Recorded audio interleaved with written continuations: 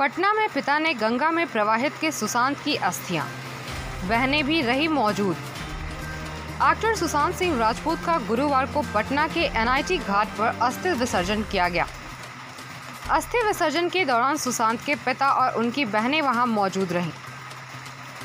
सुशांत के परिवार ने परंपरा अनुसार पहले घर पर ही पूजा पाठ किया था।